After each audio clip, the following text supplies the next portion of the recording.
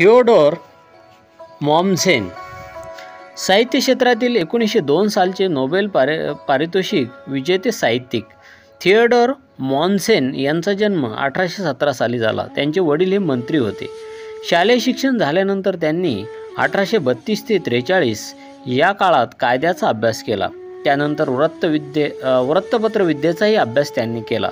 मग लेप्झिंग विद्यापीठात प्रोफेसर म्हणून ते काम पाहू लागले. परंतु अठराशे अठ्ठेचाळीस ते एकोणपन्नासमध्ये झालेल्या क्रांतीतील सहभागामुळे एकोणीसशे पन्नास साली सॉरी अठराशे पन्नास साली त्यांना बडतर्फ करण्यात आले.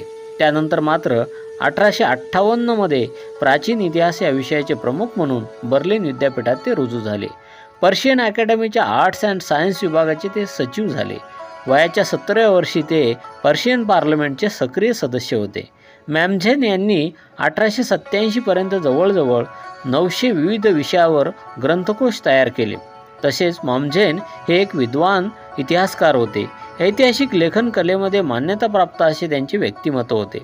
त्यांचा रोमच्या क्रांतीचा इतिहास ब इतिहासाचा बराच अभ्यास झाला होता. अ हिस्ट्री ऑफ रोम हा त्यांनी लिहिलेला ग्रंथ संस्मरणीय ठरला.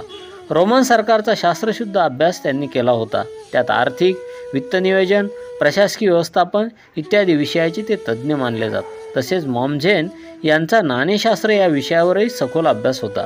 रोमन घटना आणि कायदा या क्षेत्रातही त्यांचा अभ्यास दांडगा होता. या विषयावर त्यांनी अनेक ग्रंथ लिहिले होते.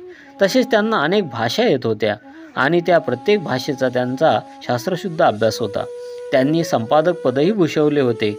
या सर्व विषयावर त्यांनी भरपूर ग्रंथलेखन केले होते. त्यांच्या ग्रंथकार्याबद्दल एकोणीसशे दोनमध्ये त्यांना साहित्य क्षेत्रातील नोबेल पुरस्कार देऊन त्यांचा गौरव करण्यात आला. असे ते थिओडोर मॉमझेन हे साहित्यिक होत. धन्यवाद.